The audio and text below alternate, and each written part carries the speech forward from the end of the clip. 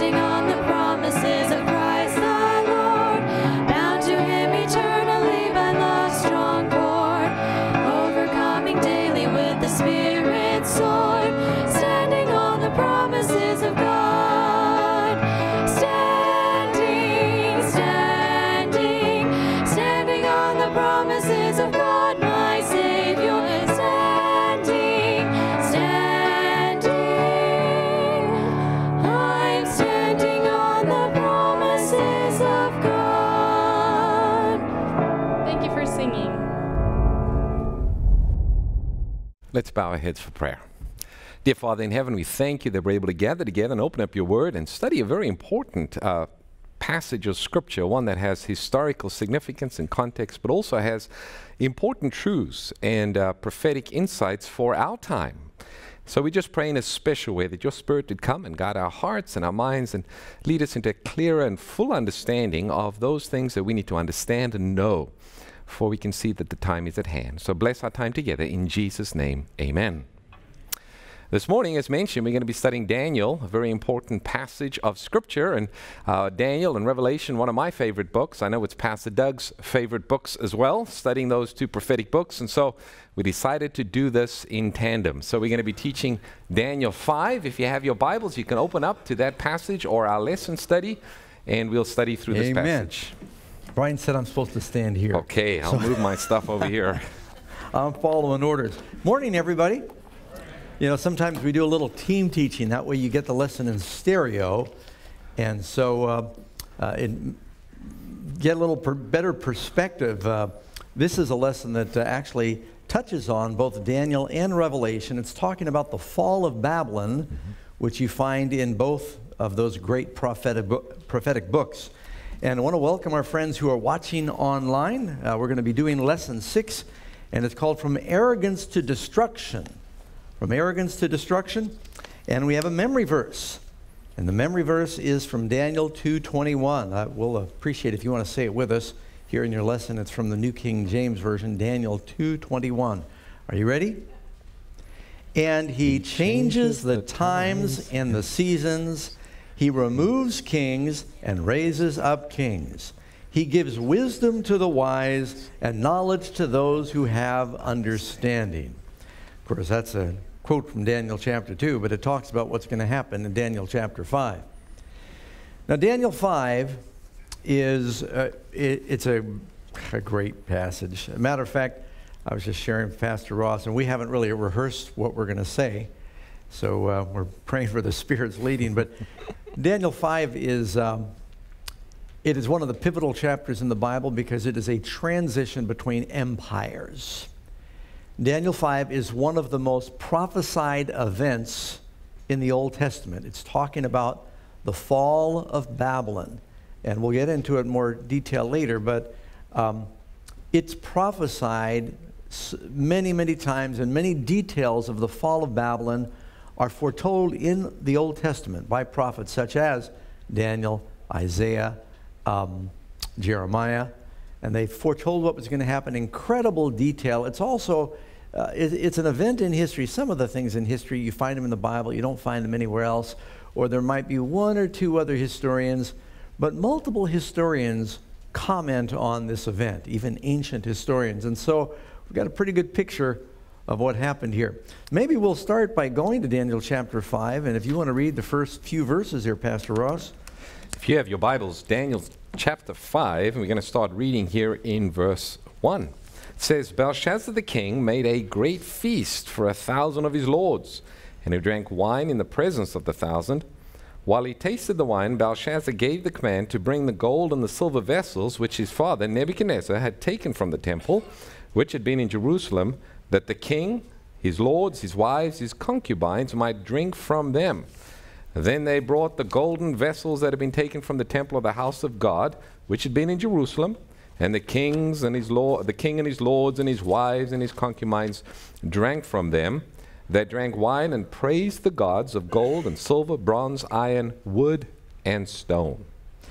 All right. Well, first of all, let's get a little historical background of what's happening here talks about Belshazzar as the king. Technically, he is co king with his father, Nabonidus. And uh, what happened is there's a, quite a bit of intrigue when uh, Nebuchadnezzar died. Nebuchadnezzar reigned about 40 years. And the last time we saw him, he had turned to the God of heaven. He praised the God of heaven. He made several decrees about the God of heaven. And there was a little bit of rivalry going on. The Babylonians, who were loyal to Tammuz and their other gods, uh, they had kind of been threatened by the Jews in the empire that were spreading their religion. You know, we're having that problem right now in China with Christianity, a little threatened by that. Uh, we're having that problem now with some of our missionaries in India, that's technically a Hindu country, and there's been a lot of restrictions, and some of the Hindu priests are threatened that Christianity is spreading. Interestingly, Pastor Ross and I were together in um, Hyderabad, India, a couple of years ago. Where would you think the biggest Christian church would be in the world? I think it'd be in a Christian country. Mm-hmm. It's in India, it's in a Hindu country. So you can see why they're a little threatened there by the growth of it. And uh, they didn't like the way the religion of the Jews was taking root. When Nebuchadnezzar died, there was a little bit of intrigue that took place, and uh, his immediate son was assassinated soon after. And uh, then there was a, a temporary king that was overthrown, that was sort of a, a false pretender to the throne. And uh, when the dust settled after all the palace intrigue, uh, the son in law, he had married Nebuchadnezzar's daughter, Nabonidus, he became king. And um, after a few years and he had fought a few battles, he retired and he, went, he was real big on promoting the moon god called Sin. That's how you spell it, S I N, but it's the moon god. And uh, the people in the kingdom didn't like that he wasn't exalting Tammuz and Marduk and their other local gods. And he went to other empires and began to excavate. Now, Nabonidus is believed to be one of the oldest archaeologists in history. He was excavating and trying to date the history of ancient temples to Sin, the moon god, and trying to restore them.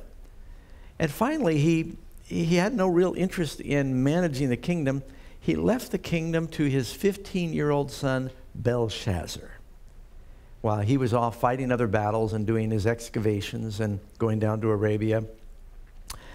And, you know, Pastor Ross, I think it's just interesting the, the amazing difference between two 15 year olds in Babylon. One 15 year old came 70 years earlier named Daniel. Mm-hmm. And he was poor in the kingdom, but he decided to put God first. Uh, when tempted with all of the, um, the Babylonian delicacies, he exercised self control and showed restraint. He had control over what he ate and drank. Here, when Babylon falls, you've got someone else who came to the throne at 15 and had no control.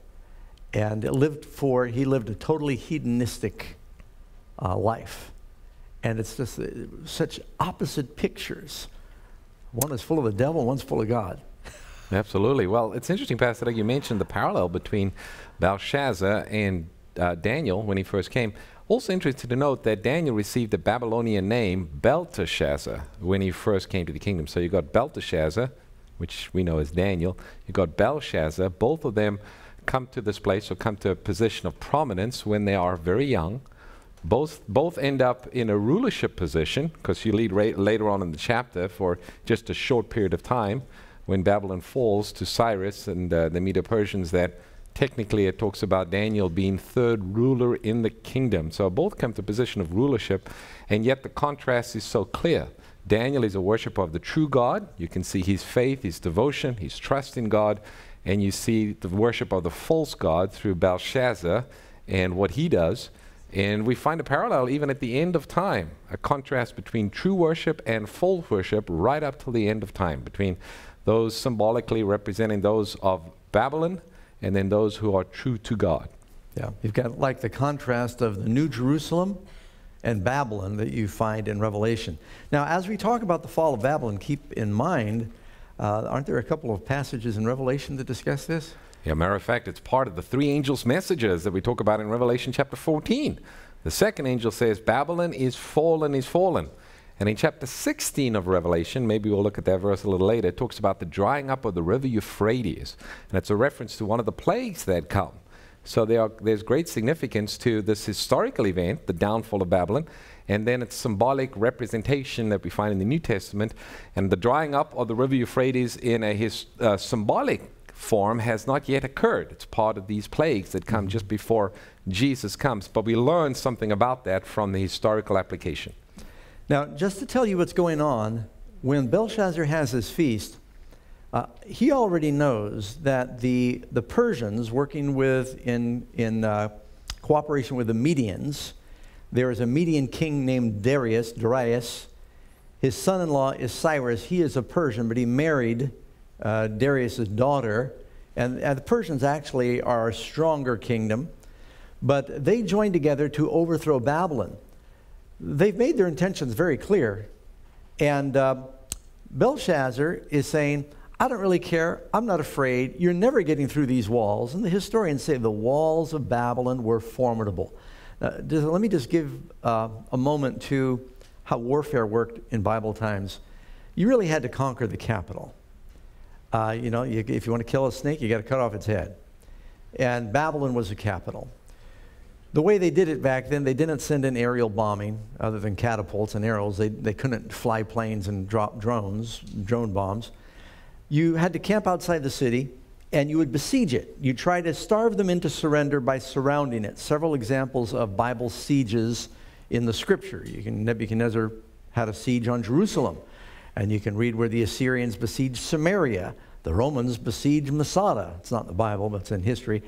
You'd surround them, and the idea would be they can't get any food in, they can't get any help out, and it's very expensive to feed an army every day. You ever try that?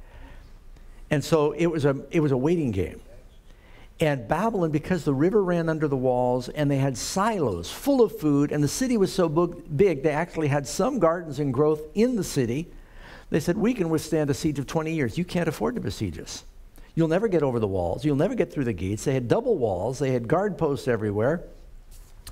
To show that he wasn't afraid, the Feast of Tammuz comes along. So the night that this all takes place is October 11, 1539. And during the Feast of Tammuz, he says, We're going to have this big party that is described in the first few verses. After the king begins to taste the wine, he's under the influence of the wine and he begins to do something the king should not do. Now, does the Bible talk about kings drinking? Uh, it's, it's, not very advised. There, you, want, you want to read, Pastor Ross, Proverbs 31 there in the under Belshazzar's feast, Proverbs 31, 4 and 5. It tells us there, it is not for kings, O Lemuel, is the name of the one that is referring to. It is not for kings to drink wine, nor for princes intoxicating drink, lest they drink and forget the law and pervert justice of all those who are afflicted.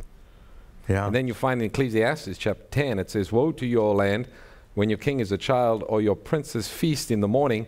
Blessed are you, O land, when your kings are the sons of nobles, and your princes feast at the proper time for strength and not drunkenness. Yeah, some people live to eat and others eat to live. And you want a king who's going to eat at the right time for strength and not for gluttony or drunkenness. And so Belshazzar is a young king who is a glutton. Um, the historians tell us that he was so, uh, a, he, he was just a really brutal king. Uh, Xenophon, one of the ancient historians, says that out on a hunting expedition with his best friend, his friend caught up with the prey before the king did and shot it. The king was so upset he killed his friend. He wanted to shoot the prey. And I can cite some other things to you that he was just a, a, a really abominable person. you know, it's also, again, a, a key characteristic is you've got this king, Belshazzar, who seems to have no self control. Whereas you have Daniel, the contrast, both of them young when they come to prominence in the kingdom, who, first of all, right at the very beginning of the book of Daniel, Daniel chapter 1, it talks about Daniel's commitment, he and his three friends, not to defile themselves with the king's food and with his drink. So again, a contrast is set up between those who are worshippers of the true God, they recognize their body as the temple of the Holy Spirit, whereas those who worship the false gods, they don't recognize any importance of self control, uh, especially in the area of eating and drinking. Yeah, and if, if you're surrounded by an enemy army that wants to attack, should you be fasting or feasting? when they should have been praying, they're partying. And uh, he's really, it's high handed rebellion against God. The other thing is, he's showing he's not afraid. Uh, we mentioned before, there were multiple Hebrew prophecies that talked about the fall of Babylon. Belshazzar was acquainted with those. And he was acquainted with Daniel interpreting his father's dream of the image that there would arise another kingdom. He didn't want that. He's saying, I'm not afraid. Babylon's going to continue forever. And then he, he doesn't go take the vessels from one of the many other kingdoms they conquered. He specifically takes the vessels from the Jewish temple because he knows about the Jewish God, the Jewish prophecies. He knows his grandfather turned to Jehovah. And he's mocking the God of Israel by praising not Jehovah with the temples from with the vessels from the temple. He fills the vessels with Babylonian wine. What's in the cup of the woman in Revelation mm-hmm. 17? Intoxicating wine. Yeah. And he praises the idols with the vessels made to worship God. And uh, by the way, uh, if you're going to go into battle, don't drink. the Bible talks about Ben Hadad, 1 Kings 20, verse 16. Ben Hadad and his 32 kings were getting drunk at the command post, and because they were drunk, Ahab, who had a little bitty army, Ahab goes out and he fights with the, the Assyrians and he trounces them because they were drunk, and the king gave a really ridiculous order. He said, If they came out for peace, take them alive. If they've come out for war, take them alive. Well, it's really hard if you're fighting against soldiers that want to kill you if you try and take them alive. And. Um, Anyway, it's because he was drunk and he gave a really dumb order. So, what does the Bible have to say about drinking? Uh, why don't you read a little more of what it says here? And we're, we're just a couple more verses in chapter 5. So now we are on chapter 5, verse 5 is where we're going to pick it up from. Uh, maybe, Pastor Doug, you want to say something about verse 4 just before we do that. It says, They drank wine, we spoke about that, and praised the gods of gold, silver, bronze, iron, wood, and stone. Yeah, Now, good point. Yeah, early in the study, you might be saying, wait a minute, these, we've come across these metals before. And you find, of course, in Daniel chapter 2, where you have the great statue, the head of gold, chest and arms of silver, belly and thighs of brass, legs of iron, feet of iron and clay. It doesn't say anything here about clay, but it does say wood. And then you have a stone that strikes the image. Yeah, the, the number for calculating with the Babylonians, you might not be surprised to learn, is six. We live on the decimal system where we calculate in, in the Western world with the tenths. Babylonians had the decimal system of six. And uh, do you know a roulette wheel has how many? a trick question. how, many slots does a roulette wheel have? 36. How many degrees in a circle? 360. Do you know that if you take a roulette wheel, there's reasons for that, for 360 degrees. It, it all goes back to this Babylonian. How many days in a Jewish year? 360. And so there's actually good mathematical readings, reasons. But you know, if you take a roulette wheel and you add the first number plus the second number, 1 plus 2 is 3, plus the third number plus the fourth number, when you get to 36, it adds up to 666. So Babylon is a, a, a lot of their math ended up coming to their magical number of 666. So they got six metals here for worshiping the false gods. And of course, our uh, time system today is built on 60 seconds and 60 minutes in an hour. So Yeah. we've got that connection dating all the way back to, to Babylon.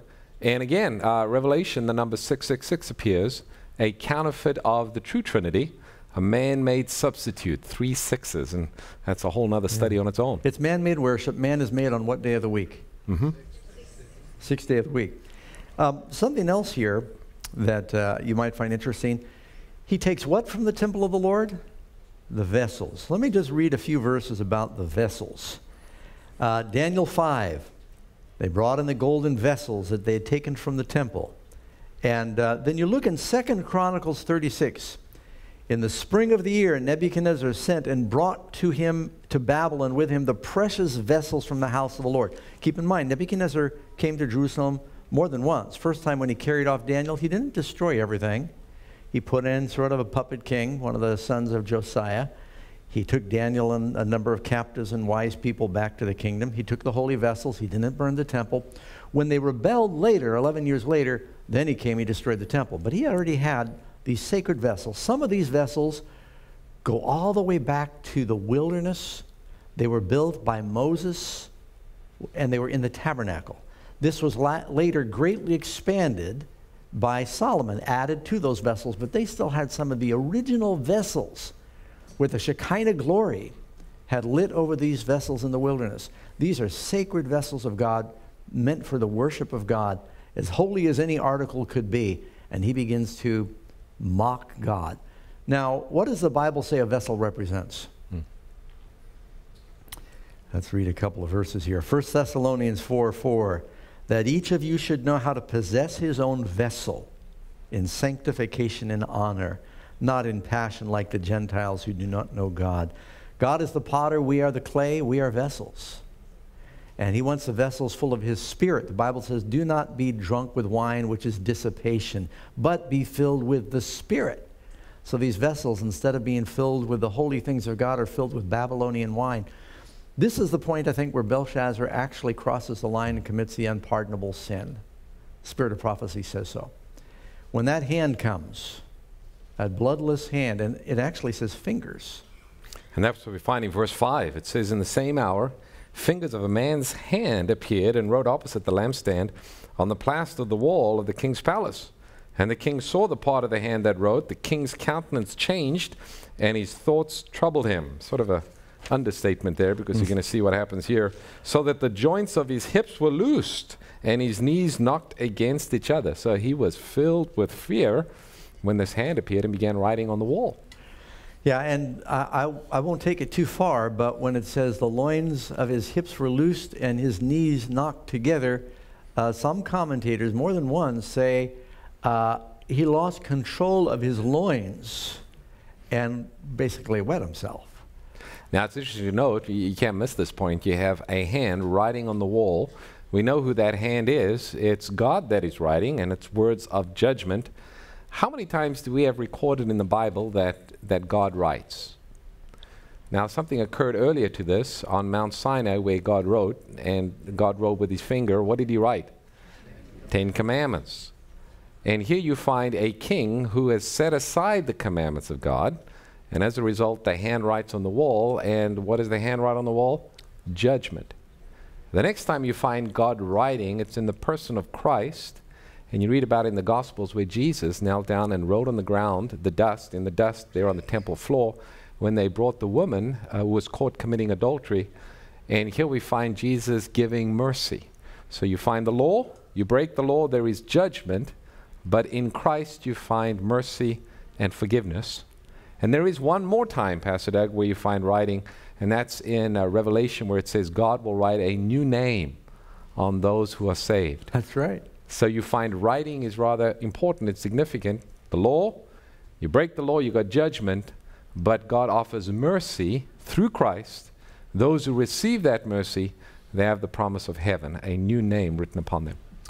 You know, it probably is worth mentioning that uh, just before the fall of Babylon, which you know is going to transpire momentarily, you see that there is a disregard for holy things. Uh, the things that preceded the fall of Babylon are some of the same things that preceded the fall of Rome, and unfortunately will be the same things that precede the fall of any great nation. Let me just read to you something from uh, Edward Gibbon's classic called the, Rise, the Decline and Fall of the Roman Empire. He lists five reasons that he believed that Rome fell. The undermining of the dignity and sanctity of the home. Increasing taxes and spending of public money for bread and circuses. The mad craze for pleasure with sports becoming more exciting and more brutal. Mm the building of gigantic armaments where the real enemy is the decadence of the people, and the decay of religion with faith fading into mere form. Uh, Philip Meyer, in his book Rome, Its Rise and Fall, made this observation of the Romans. Almost from the beginning, the Roman stage was gross, and immorality was one of the main agencies to which must be attributed the undermining uh, of the originally sound moral life during the days of Octavian and Augustus Caesar of Roman society. So absorbed did the people become in the indecent representations of the stage, they lost all thought and care for the affairs of life. The people who were supposed to be ruling the country were partying, and the country of Rome was run by secretaries. The reason, uh, this is something else from history, the, the reason I mentioned the fall of Rome is it was the same kind of issues that you see in Babylon, is that people were living for pleasure, they were being irresponsible with spending, um, and you also see that marriage was falling apart. Mm-hmm. Typically, the men started out drinking alone in Babylon. You notice that uh, the feast in the book of Esther, the king got drunk and he said, Let's bring in Vashti for all the men to Google that. And here, when the drinking um, progressed in Babylon, it says, and he invited the wives, you read on later, it says, and concubines. This was not much short of an orgy that was going on here, and they're praising the gods, which is what happened to Rome. And um, there's other countries I won't mention that are faced with some of the same issues losing respect for that which is holy, respect for marriage, and for order, self control. That's when the kingdom falls. of course, a characteristic that we have is they were lovers of pleasure more than lovers of God. That is a mm-hmm. reference that we find even to our time. And just think about how much time and money is spent on entertainment in our society uh, versus how much time and money is spent upon seeking truth or coming to know God or even protecting uh, marriage and the family. Uh, it's quite amazing. If you look at the parallels of these empires and their collapse and what's happening in our world today, indeed, we can see signs that. Um, that kingdom, represented by that stone cut out without hands, is soon to come. And that, of course, is a reference to Christ and the second coming. Now, looking at the clock, I'm going to hasten along here. So, this, these fingers appear. Notice it was finger that wrote the Ten Commandments, and it says Jesus with his finger wrote in the dust of the temple floor. This finger appears and begins to write. It's over against the candlestick, uh, way it's uh, positioned, and history seems to say it was a prominent place across from the, the uh, throne that he had seated where he was drinking in front of everybody. And uh, he's astonished. You notice it's Nebuchadnezzar looks in the furnace. He's the first one to notice the Son of God. And here, Belshazzar is the first one to see the words of judgment. And he is, he just goes to pieces. He is shaking, his knees knocked out. He was so bold and defiant and mocking God a minute ago. And now, do you know what the word Daniel means? My God is judge. El means Elohim, God, Dan, judge, one of the names of the sons of Israel. And so Daniel's called in, and judgment is called in into the, the halls of Babylon. Um, so they, they see this writing, and after they recover from total shock, everyone is frozen in place. All their faces drained from blood, and they're terrified. All the partying stops. And uh, eventually the king says, Bring someone in to read the writing. Maybe you want to read that real quick. So you'll pick up the story here in verse, uh, let's see, verse 7. It says, Then the king cried aloud to bring in the astrologers, the Chaldeans, the soothsayers. The king spoke, saying to the wise men of Babylon, Whoever reads of the writing and tells the interpretation shall be clothed with purple and have a chain of gold around his neck, and shall be the third ruler in the kingdom. Now all the king's wise men came, but they could not read the writing or make known the king's interpretation. Then King Belshazzar was greatly troubled, and his countenance was changed, and his lords were astonished. These are the thousand lords he had boldly invited in, probably leaders in the war against Persia, mm-hmm. and, and uh, to party and celebrate and, and to mock that they were not afraid.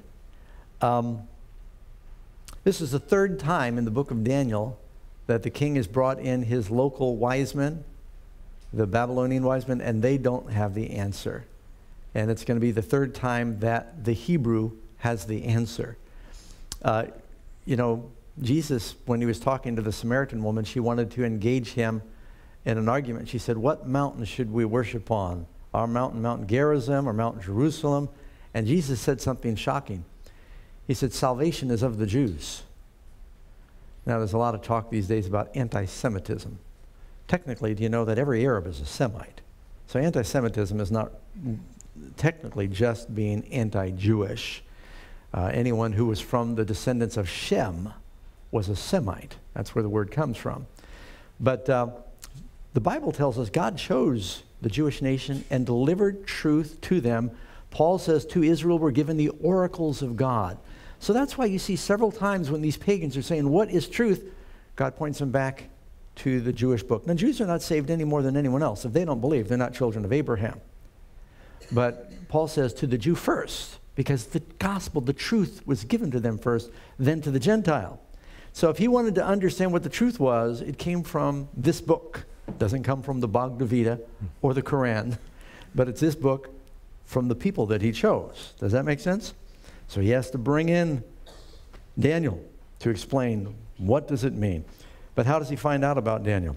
You well, you'll find over here in verse 10, it says, and the queen came in. So, course, the wise men and the astrologer, they couldn't give the meaning of the words. Verse 10 says, and the queen came in before um, because of the words of the king and his lords, and came to the banquet hall. The queen spoke and said, O king, live forever. Do not let the thoughts trouble you, nor let your countenance be changed. There is a man in your kingdom in whom the spirit of, who, in whom is the spirit of the holy God. And the days of your father, light and understanding and wisdom, like the wisdom of the gods, were found in him. And King Nebuchadnezzar, your father, your father the king, made him chief of the magicians, the astrologers, the Chaldeans, the soothsayers inasmuch as an excellent spirit, knowledge, and understanding, interpreting dreams, solving riddles, and explaining uh, enigmas were found in this Daniel, whom the king named Belteshazzar. Now let Daniel be called, and he will give the interpretation. Yeah, it's interesting that uh, they, had exhausted all of the local opportunities. By the way, um, the queen mother, according to historians, was uh, Nitocris. She's the daughter of Nebuchadnezzar. Uh, it was for her mother that Nebuchadnezzar built the Hanging Gardens of Babylon, which were still in full bloom during the time that this was all going on. Daniel's got a reputation. You, you hear this mentioned twice in Daniel 5 and Daniel 6. Um, one in whom is an excellent spirit. Now, if somebody told you, I think you're spirit possessed, how would you feel? I mean, if I hadn't said this first, if someone accused you of being spirit possessed, you'd probably take it as an insult. But don't you want to be spirit possessed? Depends, doesn't it? And you got to qualify that. The Bible says everyone who knew Daniel knew he was spirit possessed. He had an excellent spirit in him. And says this in chapter 6, in Daniel chapter 6, verse 3, because an excellent spirit was in him.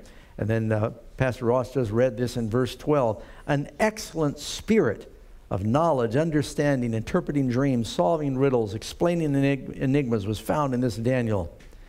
Now, this is the one time it says, who the king named Belshazzar, or Belteshazzar, but all the other times now in this chapter, he's not being called by his Babylonian name. He's not even pretending.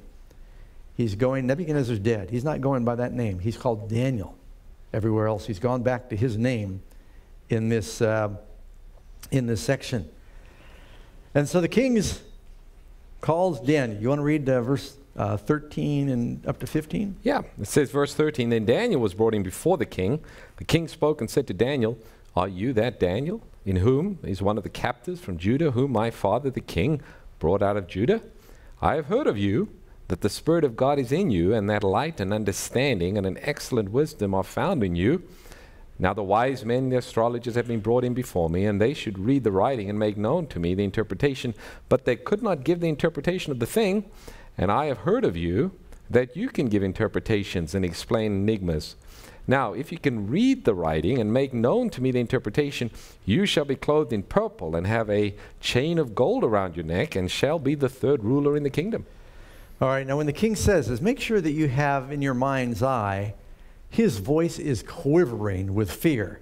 The burning letters are still blazing on the wall. Hmm. Nobody knows what it means. You all know it says mini mini mini tekel upharsin or mene mene tekel upharsin. No one's exactly sure the pronunciation because we're not even exactly sure if it's some form of Aramaic. Um, but uh, the king is paralyzed with fear. His voice is shaking. I, I also like where the queen says, There is a man. So here you've got the king is petrified, Daniel is fearless. Daniel knows what the prophecies say, he knows what's going to happen. Daniel knows that Babylon's going to fall that night. Typically, when a foreign power comes in, they slaughter all of the administrators that were true to the former government. Daniel's not afraid. And he knew that God was going to watch over him. Um, so here you've got Daniel is possessed, fearless, He's the old man, uh, and he's standing up against this wise young king who says, Look, I'm going to give you uh, a gold, and I'm going to give you uh, a purple robe, and you're going to be third ruler in the kingdom. And he, Daniel could care less. He says, You won't have anything to give in a few hours. Mm-hmm. he says, Your titles are going to be meaningless. Now, keep this in mind. When the devil is offering you the pleasures of sin for a season to sacrifice your life for eternity, you need to say to the devil what Jesus said to Daniel. Uh, I'm sorry, what Daniel said to Belshazzar. Keep your gifts. Let your gifts be for yourself. It's like when Simon there in Acts offered Peter money for the Holy Spirit. Peter said, You can perish with your money. And uh, the devil is often trying to offer people earthly gain. One thing that also stands out is just where the the queen, she says, There is a man. She evidently has great respect for Daniel and the God of Daniel. Now remember the context of this. You got the queen. This is not Nebuchadnezzar, or rather, this is not Belshazzar's wife. Rather, this would be the queen mother, uh, the daughter of Nebuchadnezzar. And of course, she was the one that married Nabonidus, who was the ruler. Uh, Belshazzar was the second ruler. And that's why he says, uh, if you can answer this, I'll make you the third ruler. Well, the reason why he could make him the third ruler was because he was only the second ruler. Now, his father wasn't there, probably out at some oasis uh, in, the, in the desert, not too interested in ruling from Babylon. So you have the, uh, the queen mother coming in, the daughter of Nebuchadnezzar, and she recounts the story of Daniel. Now, it might seem in your first reading that Belshazzar is ignorant concerning Daniel and the things that had happened to his father. But you remember one of the things that happened to Nebuchadnezzar, at least his grandfather, was that for a period of time he went uh, insane, thought he was an animal, and for seven years was outside eating grass like the oxen. Uh, this was not something that was hidden to uh, the people of Babylon nor to the royal seed. Uh, Belshazzar knew about this. He had heard about this. He knew about the interpretation given by uh, Daniel, yet he chose to ignore it. Yeah, I think it mentions this, and you start in verse 17. It says, Then Daniel answered and said before the king, Let your gifts be for yourself and give your rewards to another. Usually you don't tell a king, Keep your gifts. Uh, yeah. Yet I'll read the writing to the king. And normally, if you said to a king, Keep your gifts, yeah, you, they'd chop off your head at the, on the spot.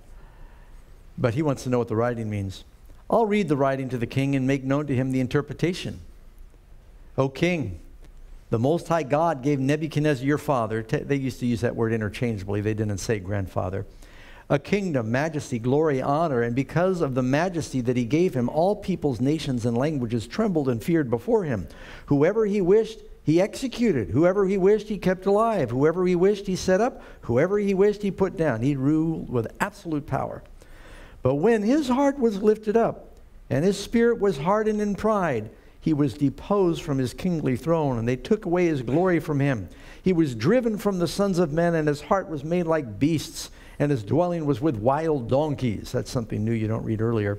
And they fed him with grass like oxen, and his body was wet with the dew of heaven, until he knew the Most High, that's Jehovah, God, rules in the kingdom of men and appoints over it whoever he chooses.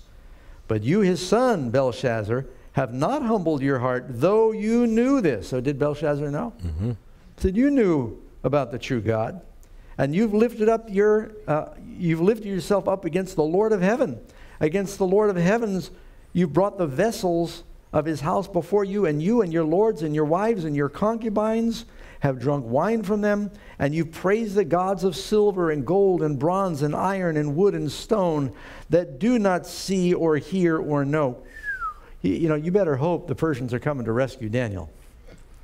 Because Daniel has just told the king, keep your gifts, and the gods you're praising are dumb. They don't know anything. Here they'd been drinking and toasting the health of this God and the health of that God, and Daniel says, Your gods are dead. They're not gods. How do you get away with that unless you know? I, I don't think it was very long after Daniel said this before they heard the shouts of the Persians mm-hmm, mm-hmm. coming through the gates. He wouldn't have lived very long, I don't think. He appoints over whoever he chooses. And he said, uh, You praise your gods. But the God who holds your breath in his hand, who owns all of your ways, you have not glorified. Then the fingers of the hand were sent from him and this writing was written, and the inscription was written. Pastor Ross, you want to tell us what it means? You got those four words there, mena, mena, teklu, farson. And um, scholars believe that that's probably Aramaic. You remember the first part of the book of uh, Daniel is written in Aramaic. The rest is in Hebrew, starting in chapter 8, I believe. The rest of the Old Testament's Hebrew, the New Testament's in Greek, but we have a few chapters here in the book of Daniel that's actually written in Aramaic. So the words do have a meaning in Aramaic. Mena means uh, counted. So if it's just a direct translation, you could say counted, counted, tekel, weighed, and upharsin, divided. So if you were to just look at the words, it would be counted, counted, weighed, divided. So it's possible that maybe the wise men could read these words, but they couldn't understand its meaning or its significance. They understood its significance because remember when something is repeated in the Bible, it stresses the, its importance. So it says, counted, counted, Babylon weighed, fallen, divided. Fallen. Yep, absolutely. Two times. And uh, Revelation talks about Babylon being fallen, being fallen. So here you have Daniel coming in, and he gives the meaning, but he also builds a little on it and explains its significance. And you find that in verse 26. Maybe I'll just read through 26 uh, to the end of that section. Mm-hmm. It says, Then, this is the interpre- interpretation of each word. Mena, God has numbered your kingdom and finished it. Tekel, you have been weighed in the balances and found wanting. Peres, your kingdom has been divided and given to the Medes and the Persians. Then it says Belshazzar gave the command, and they clothed Daniel with purple and put a chain of gold around his neck and made a proclamation concerning him that he should be the third ruler in the kingdom. Now, what I find interesting here is uh, here actually Daniel allows them to put on this robe of purple and this chain of gold representing his position. He's the third ruler in the empire. You know, Jesus made a promise to the righteous, and he said, The meek shall inherit the, the mm-hmm. earth. Uh, Daniel is the third ruler. He's definitely meek. Uh, when Jesus comes again, you have the Father who is the supreme ruler, Christ who rules, and then his people will rule as well. Uh, the Bible speaks about us, the redeemed, being seated on thrones. Mm. So here you have uh, Daniel representing in a type or a sense God's people at the end that shall rule. And here Daniel does rule when Babylon falls. When do the righteous rule and inherit the earth? When spiritual Babylon falls. Mm-hmm. So you can see a number of the parallels here that we find in this passage. Yeah, absolutely. So let me tell you what happened historically, and this plays into Revelation also. While this party is going on, uh, Cyrus the Persian and his army had diverted the course, the regular course of the Euphrates River. I mean, he had a whole army digging a ditch into a dry lake bed, huge, massive dry lake bed that had dried up in the summer. They then, at the appropriate time, they broke the dam. They waited to the last minute to break a dam that would breach it so the river would run out of its natural course and spill off into this lake bed, which downstream several miles, and, and you know, Belshazzar knew they were doing some big excavation on the river upstream. He had spies that were watching. And all of a sudden, the river level where it ran under the walls of Babylon went down. The Persians had bribed two Babylonians inside the palace who agreed to defect. They helped uh, unlock some of the gates, and uh, their names are actually given by it's either Herodotus or um, Xenophon.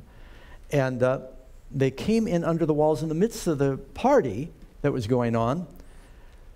They started shouting. People were shouting for being overcome. The soldiers began to shout like it was a party, and they couldn't tell whether it was a war or a party. Now, doesn't that sound like what happened to the golden calf story? And um, by the time uh, they figured out what was going on, the soldiers were drunk. They had been partying along with the king. Uh, the inner gates had been left open, and uh, they swarmed into the city with hardly the only loss of life was the king and his cabinet immediately around him.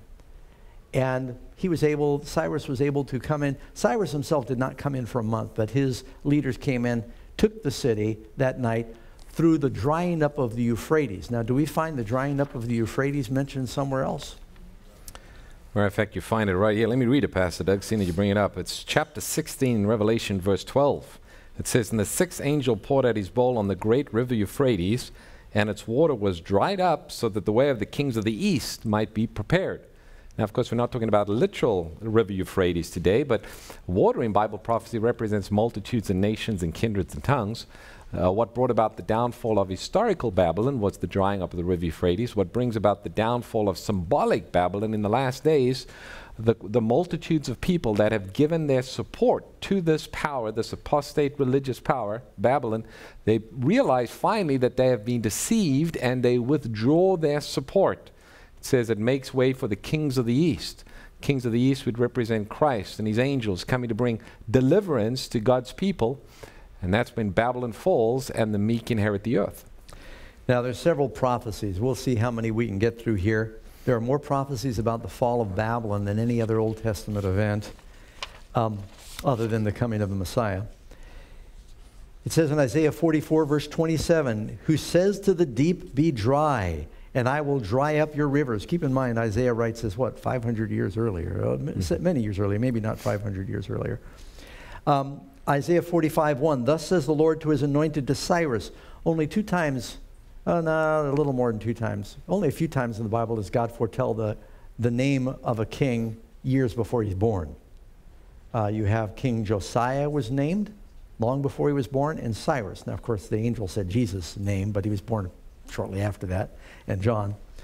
But uh, it said, to subdue nations before him, to loose the armor of kings, to open before him the double doors so the gates will not be shut. I will go before you, make the crooked places straight. I will break in pieces the gates of bronze. I mean, they had great iron and bronze bars. They said they'll never get into Babylon. I'll give you the treasures of darkness. They had, all the treasures of Babylon came to him. Jeremiah said, A sword is against the Chaldeans, says the Lord, against the inhabitants of Babylon, against her princes and her wise men, a sword against the soothsayers and the fools. They couldn't answer it a sword against the mighty men. It says the mighty men would not be able to fight. They'd be drunk. They would be overcome with fear like women. All these things were foretold. Jeremiah 50, verse 38 A drought is against her waters. They will be dried up for the land of carved images, and they are insane with their idols. And uh, one more prophecy that's interesting Jeremiah even foretold that it would happen to the third son of Nebuchadnezzar, that there would be only three Babylonian kings. You read in Jeremiah 27, verse 6 And I now have given all these lands to the hand of Nebuchadnezzar, the king of Babylon, my servant, and the beasts of the field I've given to him to serve him. So all nations shall serve him and his son and his son's son until the time of his land comes, the judgment, in other words. That's exactly what happened. It was the three, that uh, three generations from Nebuchadnezzar, including Nebuchadnezzar, that ruled, and then Babylon fell. And the same way that there was a, uh, a bloodless hand that went to the temple when Jesus died on the cross and ripped the veil from top to bottom. Here there was another bloodless hand, and that was the end of an age, an epoch, you could say, when the uh, veil was rent. Here there was an end to an age when that hand wrote in, on the walls of Babylon that judgment. It's also interesting to note that just before Babylon falls, there is a special type of judgment that occurs. Before Jesus comes, there is a judgment that takes place. And we read about that in the book of uh, Revelation. Well, we want to thank those who have joined us online. I know, Pastor Doug, we're out of town, but we want to remind our friends who are joining us about our free offer for today. It is one of our Amazing Facts study guides. It's entitled No Turning Back. If you'd like to receive a free copy of this, the number to call is 866 788 3966. Just ask for offer number 146. We'll be happy to send that to anyone who calls and asks. Or you can text the code SH137 to the number 40544 and you'll be able to receive a download and read it online or on your phone or whatever device computer and uh, you can learn more about this it actually talks here about uh, the unpardonable sin mm-hmm. and kind of what happened when judgment came to Belshazzar and Babylon. So, great study. Well, thank you, friends, for joining us. God willing, we'll study His Word together again next week. Don't forget to request today's life changing free resource. Not only can you receive this free gift in the mail, you can download a digital copy straight to your computer or mobile device. To get your digital copy of today's free gift, simply text the keyword on your screen to 40544 or visit the web address shown on your screen. And be sure to select the digital download option on the request page. It's now easier than ever for you to study God's Word with amazing facts wherever and whenever you want and most important, to share it with others. Amazing facts change lives.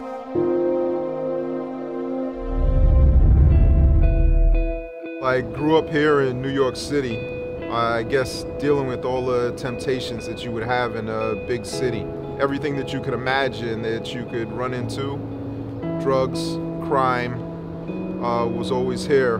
When I was at a young age, I actually got into trouble with the law, and my only out was to join the military at the time in order to not do time. So I left New York and um, traveled the world a little bit while I was in the military.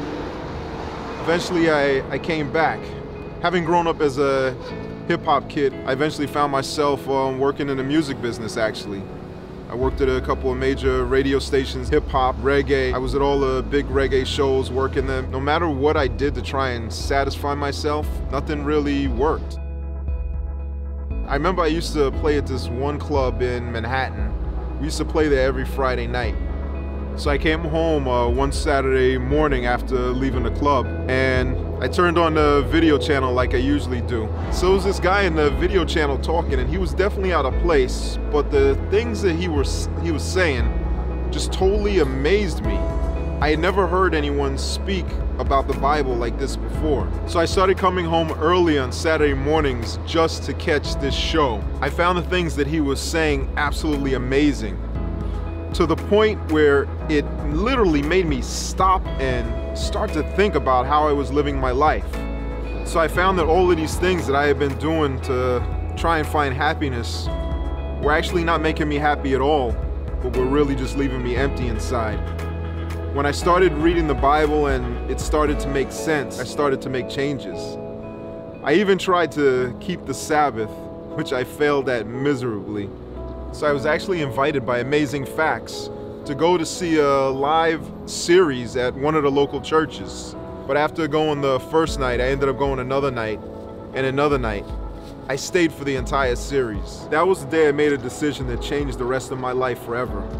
I gave my life to Christ, and everything was different after that. I made a decision to give up the music business, stop hanging out at all of the clubs. I made a decision that was eternal for me and for my family. I uh, started going to church. I got a position in church where I was actually in charge of the personal ministries department.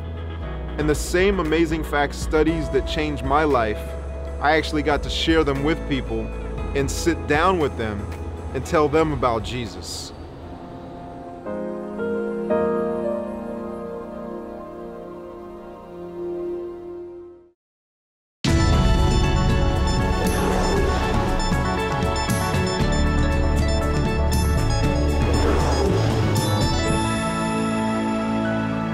Several occasions, scientists have demonstrated that people and even creatures can struggle with depression when exposed to continual darkness.